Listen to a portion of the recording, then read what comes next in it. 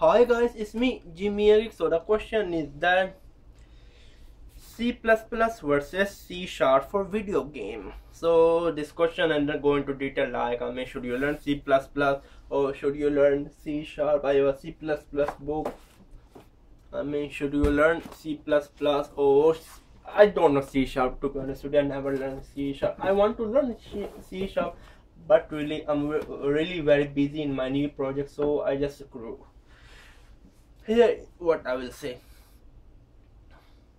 If most of the video games I mean C++ is the king of the programming language. I mean it's not only king of the programming language it is a I mean which is the best game programming language C++ but you have to decide are you going to build a game for like console C++ or you want to build games like for Android web or you want to publish your game as an indie developer or you want to learn the programming language and then you want to build a game on the Unity engine C sharp.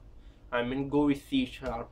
I will say start with C sharp much better. There's some limitation to C sharp I mean on the memory. I don't want to go into technicality but want to build a next Call of Duty C++ plus.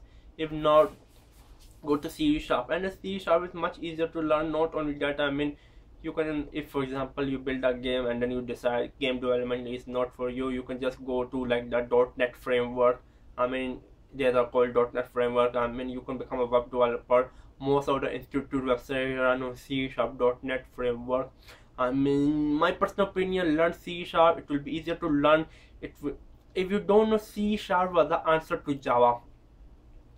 I said C++ is the king of the programming language, but how to say, I mean, Java and C++ always have some kind of rivalry. I mean, I personally like Java, my wife loves C++.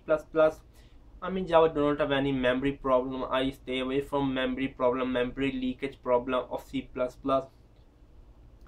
But to answer, I mean, the limitation of C++ and then the new programming language was created C Sharp, which is like PHP, Java or JSP you can say Java server page I mean C sharp is good for game development 2D game development. You can create 3D game by using a Unity engine. If you don't know what I'm saying you can check out my introduction to pro game programming and then game development lecture which will give you detail personally I will say buy a head first C sharp book. I will include the link. Uh, this is like the head first JavaScript book. I mean this is called Head First JavaScript book by the book called Head First C Sharp. Make sure I, I really love this Head First book. I mean this uh, Alfred. Much better than Dummy's book. I mean I just like it. Yeah again it depends. Now subscribe to my channel if you have any question leave in the comment box below.